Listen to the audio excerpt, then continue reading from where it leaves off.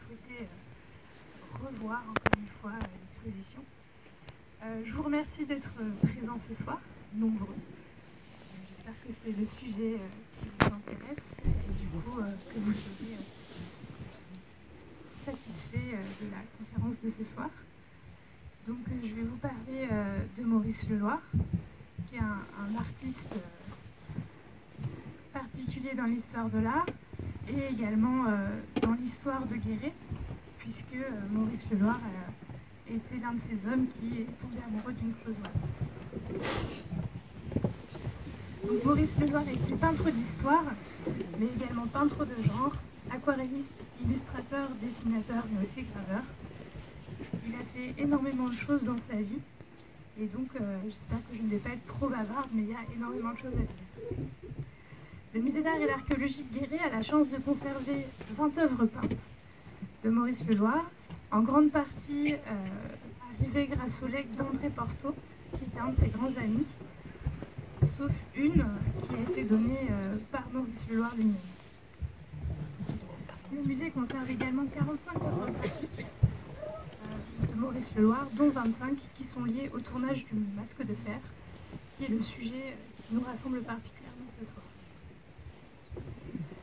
Maurice Leloir est issu d'une dynastie d'artistes euh, qui remonte au XVIIIe siècle, aux artistes de Châles, mais euh, plus proche, euh, son grand-père Alexandre Collin a été un peintre très apprécié des années 1820. Ce peintre a quatre filles, dont Héloïse, Héloïse et Anaïs, qui euh, sont toutes les deux peintres elles-mêmes et qui épousent deux peintres, Auguste Leloir et Gabrielle Toudouze. Ces deux filles, elles sont illustratrices de mode. Donc en fait, avant l'invention de la photographie, il existait quand même des revues comme Elle et Marie-Claire, qui euh, s'intitulaient à l'époque plutôt Le Journal des Demoiselles ou La Mode Illustrée. Et donc elle réalisait euh, des, gravures, euh, des gravures colorées pour ces, revues. Et donc vous avez à l'écran deux, deux portraits. À gauche, un autoportrait d'Auguste Leloir et à droite, un portrait d'Héloïse euh, Colin par du coup Auguste euh, qu'il avait épousé.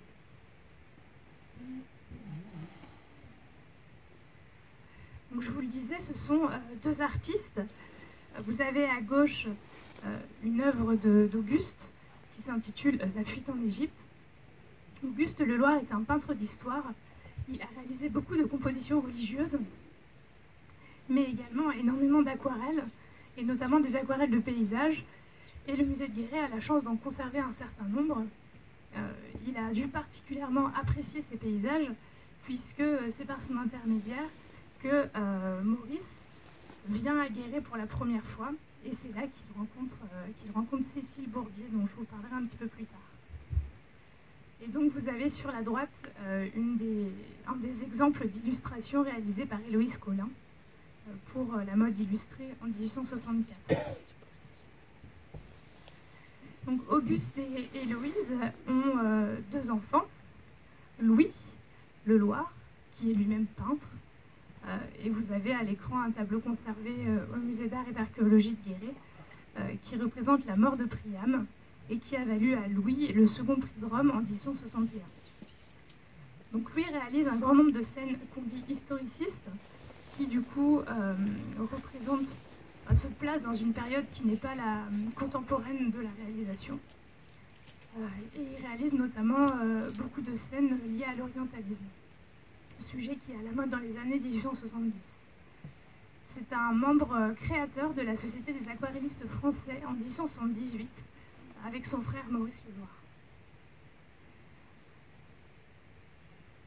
Enfin, puisque donc cette famille est vraiment pleine de, d'artistes. Vous avez Suzanne Leloir, qui est la fille de Maurice Leloir, qui a elle-même peint énormément. Et vous avez donc sur la gauche un tableau conservé au musée d'art et d'archéologie qui représente euh, des jeunes femmes euh, lavant du linge à main d'un cours. Et euh, sur la droite, un tableau de son père, Maurice Leloir, dans son atelier. Et je vous reparlerai de, ce tableau au cours de la conférence puisqu'il est très intéressant pour observer le contexte de travail de Maurice Leloir. Donc Maurice Leloir, à la différence de son frère, il n'obtient pas le prix de Rome. il a appris à, peindre et à dessiner auprès de son père, de sa mère et de son frère, puisqu'il était vraiment dans un, milieu artistique foisonnant. Il entre à l'atelier suisse, puis à l'école des beaux-arts, où il rencontre euh, énormément d'autres artistes, dont le peintre Renoir, originaire euh, du Limousin. C'est un travailleur acharné qui est soucieux de l'exactitude et de la, de la finition euh, de ses œuvres. Il cherche à documenter de manière réellement archéologique toutes ses réalisations. Il expose au Salon en 1876 pour la première fois, puis en 1877 et en 1878, où il obtient une médaille de troisième classe pour une œuvre qui s'intitule Le dernier voyage de Voltaire à Paris, qui sont donc des grandes compositions sur toile. Mais rapidement, finalement, euh, Maurice préfère s'intéresser plutôt, euh, plutôt à, à l'aquarelle et aux arts graphiques. J'espère ne pas vous choquer en l'appelant Maurice.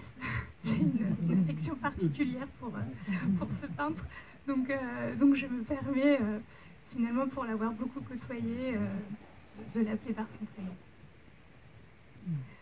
Au début des années 1880, comme je vous le disais, il suit son père dans la Creuse pour étudier le paysage. Il y rencontre dans la rue Cécile Bourdier, et apparemment c'est un coup de foudre. Il lui demande de poser pour lui, et euh, très rapidement, il l'épouse en 1883.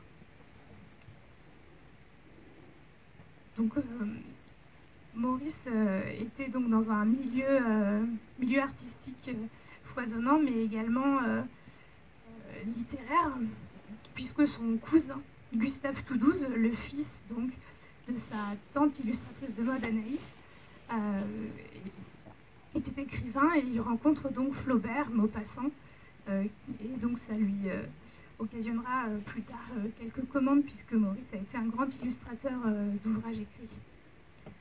En 1884, le frère aîné de Maurice, Louis, décède et ça permet finalement à Maurice Leloir, qui vivait beaucoup dans l'ombre de ce grand frère qui commençait à avoir une certaine notoriété, ça lui permet de récupérer des commandes d'illustration que son frère du coup ne, peut pas honorer.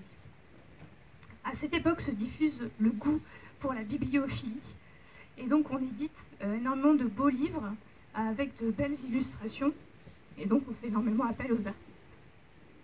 En 1885, euh, Maurice Leloir illustre par exemple Manon Lescaut de l'abbé Prévost euh, et on peut voir dans cette diapositive euh, que finalement pour cette illustration, euh, Maurice utilise la vue euh, d'une la vue réalisée à Guéret. Alors à droite, vous avez une aquarelle réalisée par son père et qui est utilisée dans la, dans la gravure au centre de l'image, qui est donc à la page 59 de, Manon Lescaut. Et, et, à gauche, vous avez donc une première idée de la méthode de travail de Maurice Leloir qui euh, habillait euh, ses modèles et les prenait en photo pour ensuite, euh, pour ensuite les peindre. Il illustre également les trois mousquetaires. Et donc vous voyez ici d'autres images. Donc une, gravure issue du, du roman d'Alexandre Dumas sur la gauche. Au centre, une de ses photos et on voit très bien euh, la reproduction de la position du modèle euh, avec cette fente en avant euh, avec son épée. Et, sur la droite, une œuvre conservée au musée d'art et d'archéologie de Guéry qui représente la leçon des scribes. Il illustre également d'autres romans, Le Roi Soleil, dont vous avez une réédition dans l'exposition que vous pouvez feuilleter, Une vie de Maupassant, Candide, les fables de La Fontaine, les confessions, le jeu de l'amour et du hasard, mais aussi Paul et Virginie. Entre 1886 et 1890, son style est très proche euh, de celui de son frère, mais il s'en démarque euh, ensuite en affirmant son goût très fort pour le XVIIIe siècle. Donc on revient à cette euh, photographie donc, qui, qui reproduit deux œuvres conservées au musée de Guéret. Et donc à gauche la ravaudeuse et à droite le guichet du théâtre. Et en fait, ces deux œuvres réalisées à la fin du 19e siècle sont situées par, le, par les costumes représentés de la deuxième moitié du XVIIIe siècle. Donc vous avez ici le, souci de Maurice Leloir euh, de s'attacher aux moindres détails pour, euh, pour rendre en fait euh, l'univers d'une époque. Et, dans les costumes, vous verrez qu'il il s'attache à, reproduire de vrais costumes.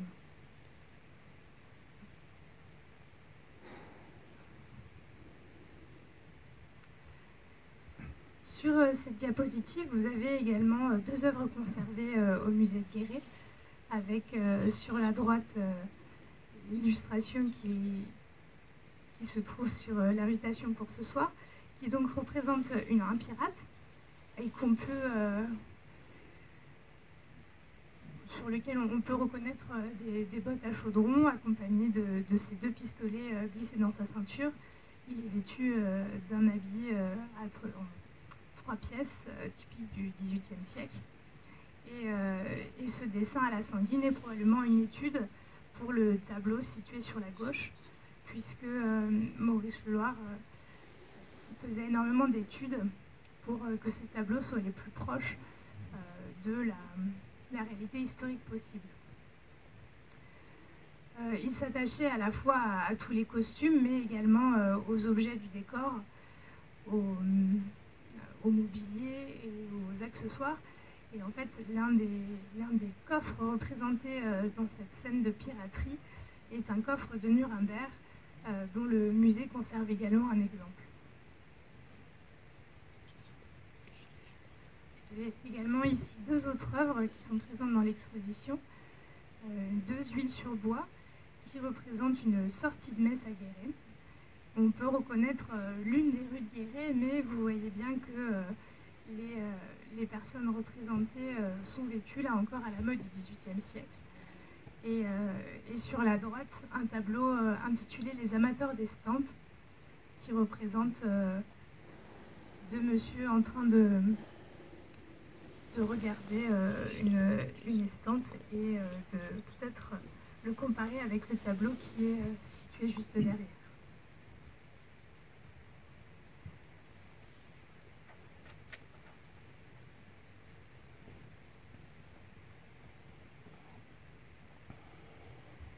Vous l'ai dit, Maurice euh, profitait de ses séjours en Creuse pour étudier le paysage.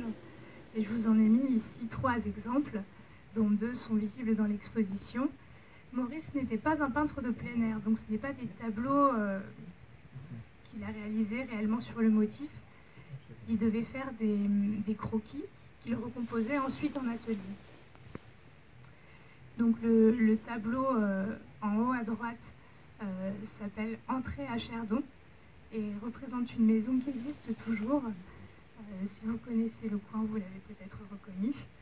Et, euh, en bas à droite, un tableau qui s'intitule euh, que, de, que de l'étang à Courtine. Et, sur la gauche, un autre paysage réalisé dans les environs de Guéret, qui du coup s'intitule Une maison à Cherdon. Et je me suis posé la question de savoir si ce n'était pas la même maison qui est représentée sur le tableau de droite. Donc, euh, si vous la reconnaissez, n'hésitez pas à me le préciser. Ce qui est intéressant dans ces représentations de paysages, c'est que Maurice Leloir les réutilise ensuite pour ses grandes compositions peintes. Vous pouvez voir euh, en haut à gauche une petite petite aquarelle euh, qui est cette fois réalisée par Auguste Leloir, donc son père. Et Maurice a réutilisé cette vue des pierres civières du Maupuy pour son grand tableau euh, qui s'intitule Les Dragonnades au Maupuy, qui est situé dans l'escalier du musée de Guéret, qui mesure 3 mètres de long sur 2 mètres de haut. Donc, je pense qu'il n'est pas dans l'exposition. Euh, mais du coup, vous pouvez, euh, pouvez observer vraiment la, même forme de, ces pierres impressionnantes. Et au second plan, des, dragons du roi qui sont en train de poursuivre la famille de protestants qui s'est réfugié au Maupuy.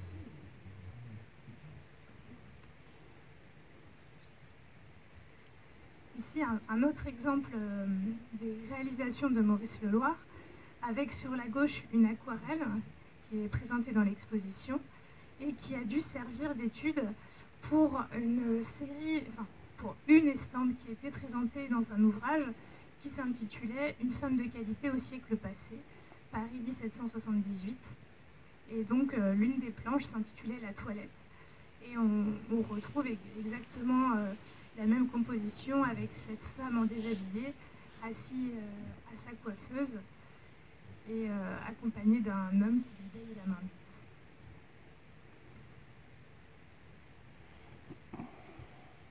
Sur ce, dessin qui est présenté dans l'exposition, on peut voir euh, la manière de travailler de Maurice Leloir, puisque vous avez plusieurs éléments qui sont découpés. Donc si vous ne l'avez pas remarqué tout à l'heure en voyant l'œuvre, je vous invite à retourner dans l'exposition pour aller regarder de plus près.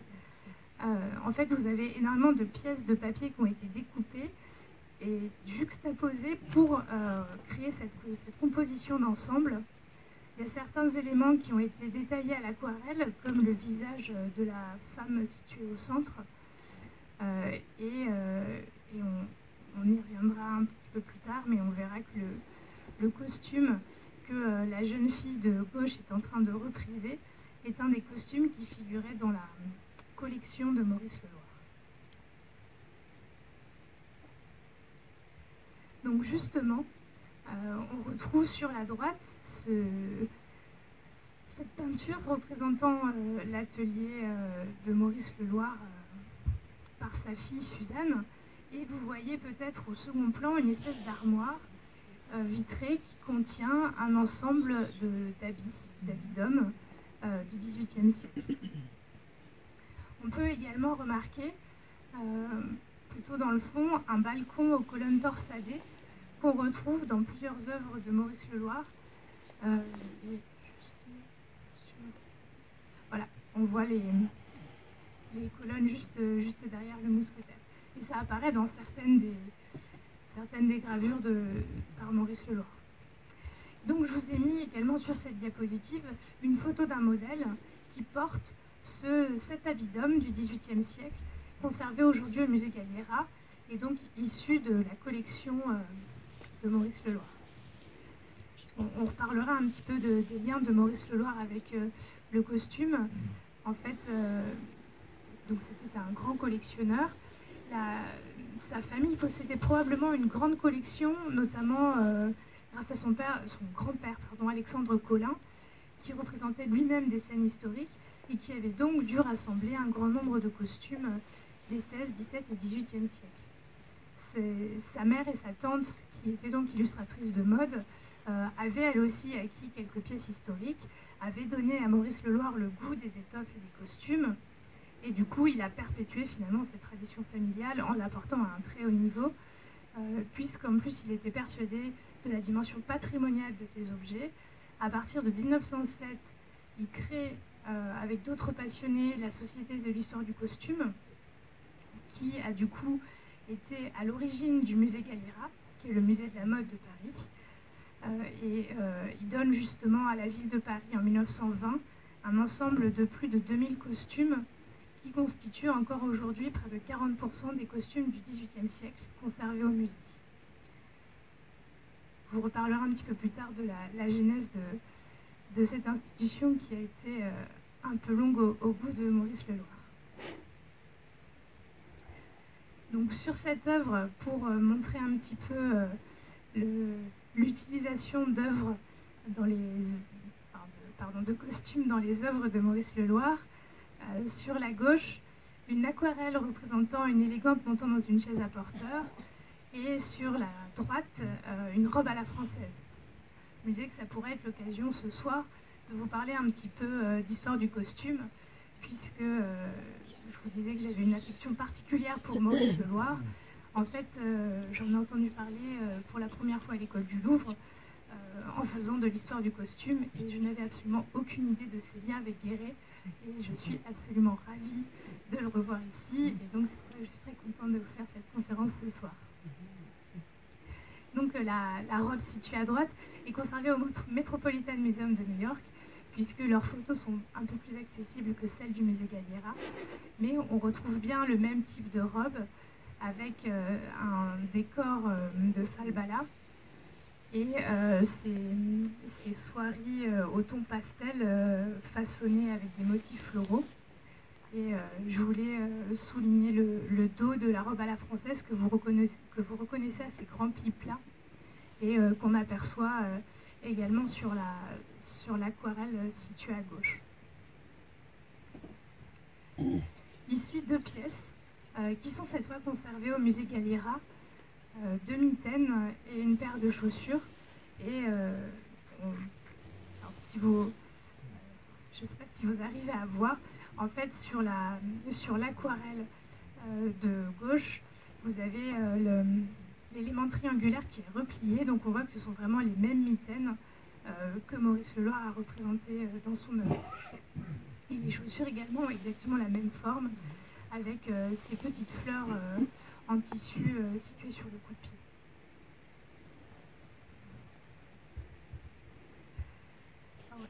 Ici, vous avez deux œuvres graphiques accompagnées d'un accessoire et d'une robe. le dessin, s'intitule La Jade de lait, est conservé au musée de Guéret. Et l'aquarelle en bas à droite est conservée au Metropolitan Museum de New York, puisqu'en fait, euh, Maurice Leloir était très apprécié et très connu en dehors de France et énormément de ses œuvres sont conservées en Angleterre et euh, aux États-Unis. Et donc c'est intéressant ici euh, de voir ces, premières études de Maurice Leloir pour cette composition. Et on peut s'apercevoir par exemple que le parapluie ouvert au pied de la jeune femme a finalement disparu sur la version aquarelle. Elle porte, cette jeune femme, une robe à la polonaise, euh, avec euh, ce, volume euh, à l'arrière qui est remonté. Et, en fait, le nom de cette robe vient de l'histoire de la Pologne à cette époque, puisque le pays était partagé en trois. Et, en fait, les premières robes à la polonaise forment trois grands volumes au niveau de et du coup, euh, d'où le, nom de robe à la polonaise qui a été donné euh, à ces robes avec ce volume particulier sur l'arrière. Ici, euh, un détail d'une composition de Maurice Leloir qui fait partie d'un décor intérieur qu'il a réalisé pour une villa située à Saint-Jean-Cap-Ferrat en 1903 et qui s'intitulait Les saisons à Versailles et à Trianon. Et donc ici, il s'agit d'une conversation galante euh, au hameau de la Reine que vous avez, peut-être reconnu euh, au second plan. Qui est très intéressant dans, dans cette composition, c'est l'habit que porte l'homme qui présente un décor de Brandebourg et on peut observer exactement le même décor sur l'habit que vous avez sur la droite et qui est euh, conservé au musée Galliera.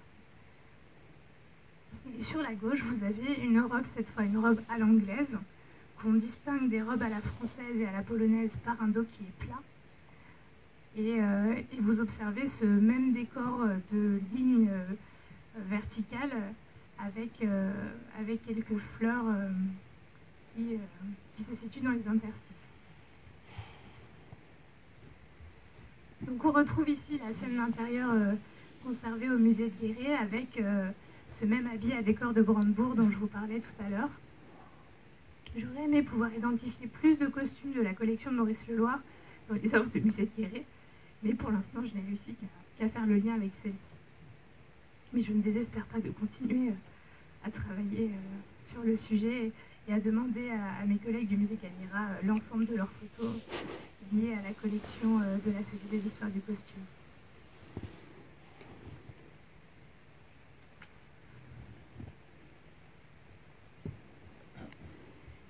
Ici, vous avez sur la droite un, très bel exemple de costume d'arlequin du XVIIIe siècle, qui est le seul exemple conservé en Europe et qui du coup a été euh, réutilisé par Maurice Leloir dans énormément de ses compositions. Sur la gauche, euh, un éventail d'un autre panneau des fêtes galantes à, Versailles et à Trianon, et un menu du café riche au centre, puisque Maurice Leloir illustrait énormément de, de, supports. Il a fait beaucoup de publicité, il a fait également des éventails et il a fait beaucoup de, menus pour les galeries.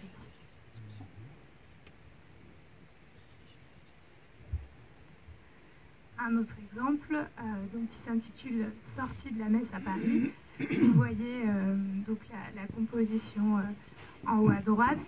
En bas à droite, vous avez l'aquarelle qu'il a fait de la même église, qui est donc l'église Saint-Paul, Saint-Pierre Saint-Paul à Paris. Et à, à, gauche, un habit d'homme qui est conservé au musée Galliera et qui est représenté au centre de la composition aquarellée de droite.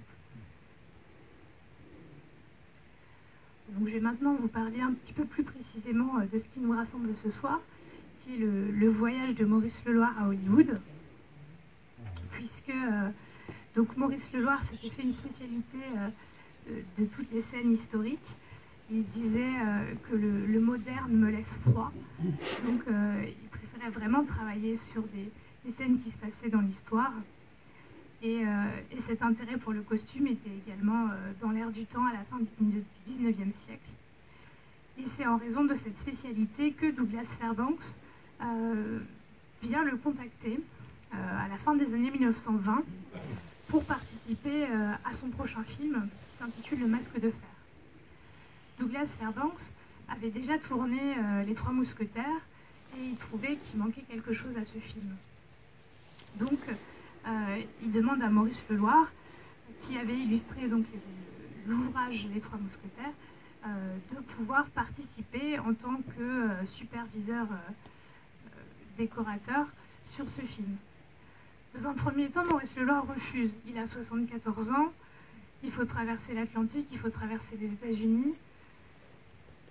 C'est fatigant, sa famille, famille n'est pas non plus très encline à le laisser partir. Et finalement, euh, finalement, il se laisse séduire par Douglas Fairbanks, comme il le raconte euh, dans, l'ouvrage qu'il a publié euh, ensuite.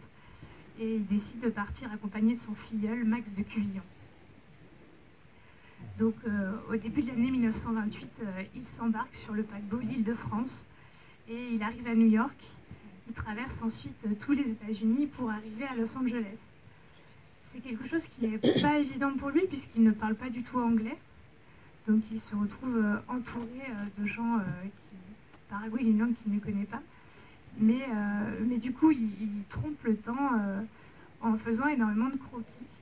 Et le musée de Guéret a la chance d'en conserver un certain nombre, grâce au don de Max de Cuvillon, justement.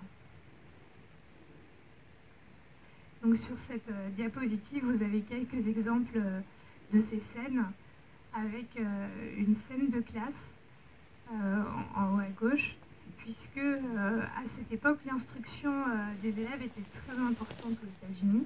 Et donc, il était hors de question que les enfants travaillant sur le tournage n'aient pas, pas des classes régulières. En bas, juste en dessous, vous avez cette scène qui est très amusante, deux personnages en costume qui sont en, train de, déjeuner dans des, restaurants américains typiques. Donc le, décalage est, assez rigolo. On retrouve ce même décalage euh, à droite euh, euh, dans une des petites images que vous pourrez mieux voir dans l'exposition, qui du coup représente les acteurs en train d'aller boire un stand de boissons et également de manger des glaces, puisque à Los Angeles il fait déjà très chaud. et en plus, il avait de, des habits avec des, tissus assez lourds, et notamment du drap de laine. Et euh, Maurice Leloir raconte qu'il en croisait régulièrement en train de, porter euh, leur jupe euh, sur le haut des cuisses parce que ces dames avaient très chaud. Donc dans son ouvrage 5 mois au Hollywood avec Douglas Fairbanks, qu'il publie à son retour, il utilise ses aquarelles comme illustration et il raconte également énormément d'anecdotes, notamment toutes ces interventions euh, en tant que, que, professeur de maintien pour apprendre euh, aux acteurs à faire de belles révérences. Et il ajoute que euh, les, les femmes ont une grâce naturelle qui leur permettent assez facilement de faire des références, mais pour les hommes, c'est beaucoup plus compliqué.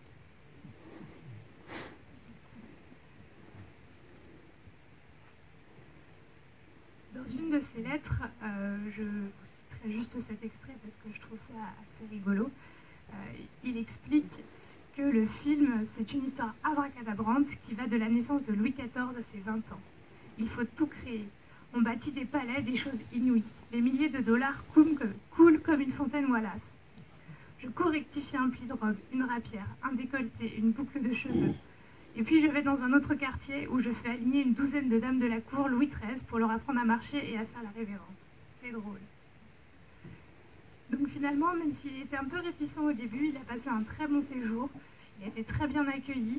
Il souligne à quel point les Américains sont accueillants, même si selon lui, ils sont pas très intelligents. Parce qu'il il raconte notamment que c'est assez incroyable d'avoir autant d'argent disponible euh, et de ne pas réussir à faire quelque chose d'historiquement correct. Euh, mais finalement, euh, il est assez impressionné par le, travail de plusieurs techniciens. Sur le tournage, on lui demande de créer quatre carrosses et donc il donne ses directives bon an mal an avec beaucoup de gestes puisque du coup il ne parle pas anglais mais il est très satisfait du résultat il est vraiment impressionné par la, qualité des réalisations. D'autres scènes de tournage, euh, vous avez euh, en haut à droite euh, cette scène de tournebroche qui est assez rigolote. Le, le, décor en bas à droite d'une rue de Saint-Germain-en-Laye qui a été reconstitué et deux plateaux avec les projecteurs sur la gauche. Il profite également de ce séjour pour faire euh, des portraits des acteurs principaux. Et donc, euh, vous avez notamment euh, Douglas Fairbanks en haut à droite. également Milady de Winter, jouée par Dorothée Arrivier sur, sur la gauche. et Belle Bennett qui joue la reine Anne, qui est en, bas à droite. Et il raconte notamment qu'apparemment elle avait un certain caractère donc ils n'étaient pas forcément très enclins à la faire participer au film, mais elle était tellement belle, avec une, personnalité euh, qui collait tellement au personnage d'Anne d'Autriche qu'ils ont finalement euh, tenté le pari parce qu'elle avait euh, pas énormément de répliques, donc c'était pas si grave de l'accueillir pour un petit peu de temps. Et, et au sein de ces, de ces portraits, on s'est aperçu que le portrait que vous avez en haut à droite, est un autoportrait de Maurice Leloir, puisque du coup on l'a invité à participer au petit rôle d'un savant euh, euh, au milieu d'objets anciens, et donc euh, je suis très contente de savoir que maintenant on a un autoportrait au musée de Guérité.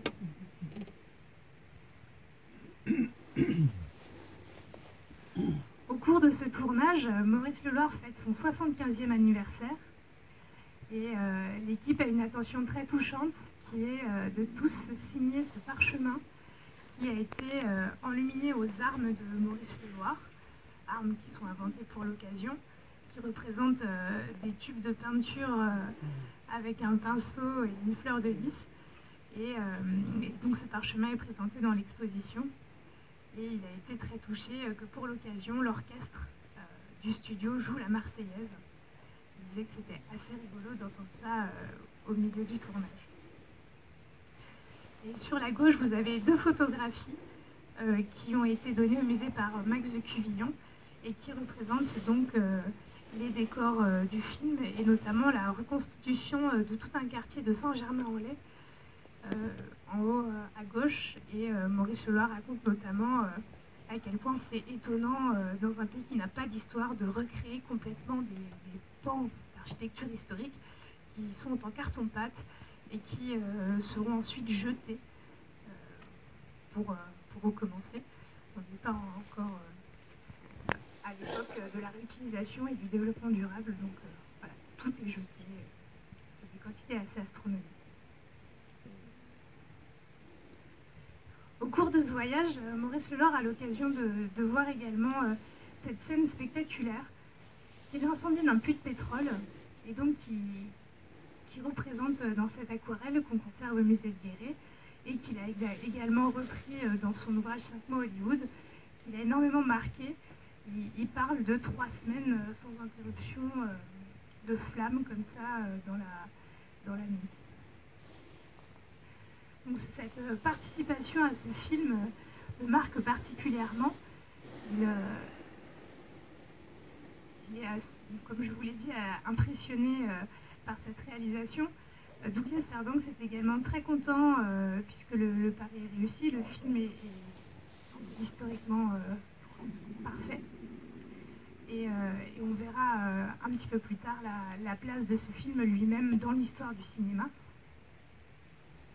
Je voudrais maintenant revenir un petit peu sur le, la, dimension de collectionneur de Maurice Leloir. Euh, je vous ai parlé de la création de la Société d'histoire du costume, euh, qui est donc reconnue, donc écrit en 1907, mais reconnue euh, d'utilité publique en 1912.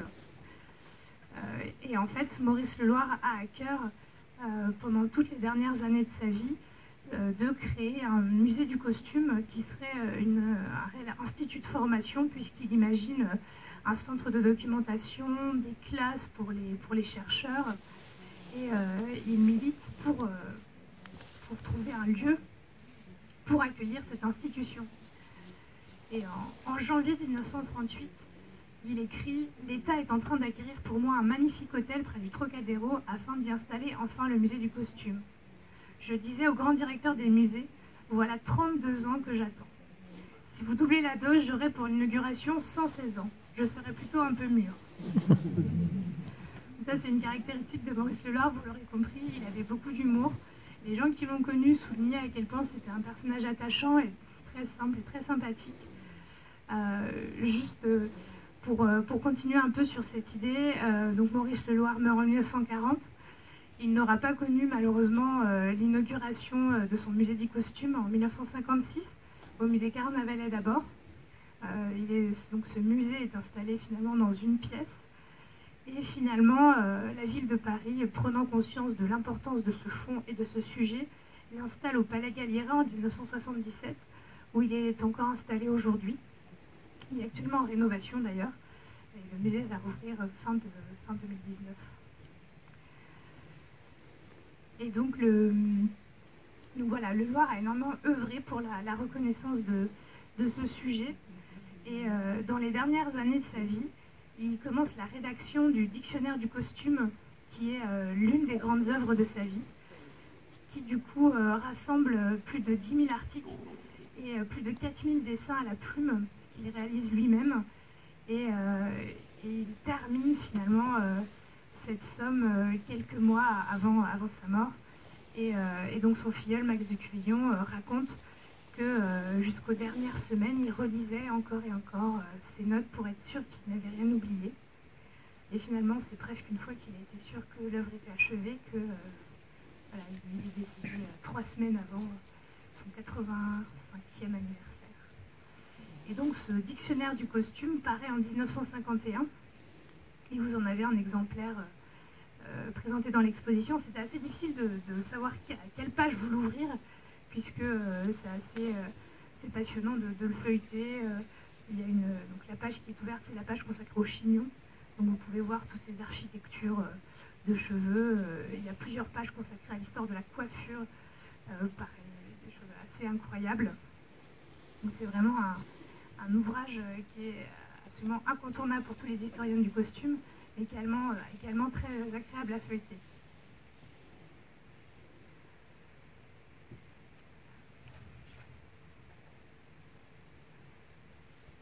Et euh, finalement, il, était également, en plus des arts plastiques, très doué de ses mains. Il a réalisé énormément de, maquettes pour le musée de la voiture de Compiègne. Et le musée de Guéret a la chance de posséder l'une des poupées qu'il a également sculpté euh, en bois et qu'il a habillé lui-même euh, d'un petit costume dans le style de Louis Et pour finir, euh, il, euh, a souhaité être inhumé dans le cimetière de Guéret, puisqu'il avait donc des liens particuliers avec cette ville, et il y a rejoint sa femme et sa fille. Et donc, euh, donc voilà, ça, Ils habitaient tous les trois au 36 de la rue du Colonel Roder, maison sur laquelle est posée une plaque. Donc voilà, à l'occasion, si vous passez devant, vous pourrez vous rappeler que Maurice Leloir y a passé un, un très grand nombre d'étés. Je vous remercie.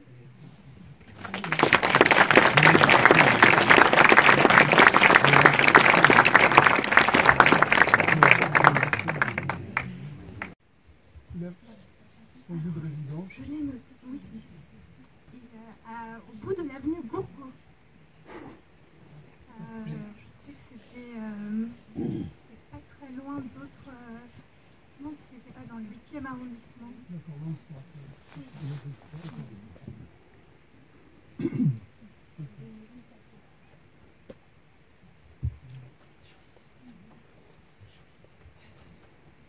Et dans le futur, la réorganisation du, du musée de Guéret, on verra un maximum d'œuvres de Maurice Leloir. Parce que on est un peu frustré. Vous, présentez beaucoup de choses, on aimerait bien en voir un maximum.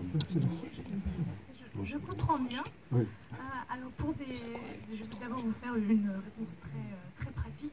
Pour des raisons de conservation, nous ne pouvons pas présenter de manière permanente les aquarelles et les dessins, puisque ce sont des œuvres qui se dégradent à la lumière. Donc il faut, euh, euh, compter toute la quantité de lumière que ces œuvres absorbent, puisque c'est quelque chose qui n'est pas réversible. Donc ces œuvres, elles ne pourront pas être présentées de manière permanente. Par contre, on prévoit euh, dans le nouveau parcours un cabinet d'art graphique qui permettra justement de présenter ce type d'œuvre, notamment le dessin d'Ingres, qui lui aussi a une creusoise, que le musée est très fier de conserver, mais qui ne peut pas lui aussi être exposé de manière permanente. Donc ce petit cabinet permettra voilà, d'exposer euh, certaines de ses œuvres. Euh, pour ce qui est des, œuvres à l'huile, euh, il y en aura quelques-unes de présentées, bien sûr, puisque Maurice fait bien sûr partie des, des figures importantes de la ville, mais il y a énormément de choses à présenter dans ce musée, puisque les collections sont très riches. Donc il y aura des œuvres de Maurice Leloir et de sa famille, toutes probablement. Merci.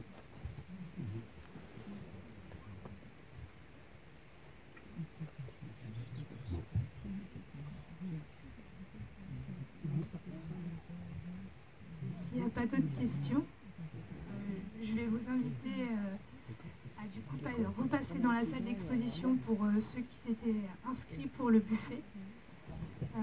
Et donc pour les autres, je suis désolée, pour des raisons de sécurité, nous ne pouvons pas accueillir plus de 50 personnes dans la même pièce, enfin cette salle, en raison du nombre restreint d'issues de sécurité, issues du secours. Mais du coup, je vous invite à venir nous rejoindre à 20h30 pour la projection du film Le Masque de Fer, et euh, qui sera présenté donc euh, par Gérard Fugnot, euh, et qui vous parlera un petit peu plus de, de l'histoire de ce film, pardon, de la place de ce film dans l'histoire du cinéma.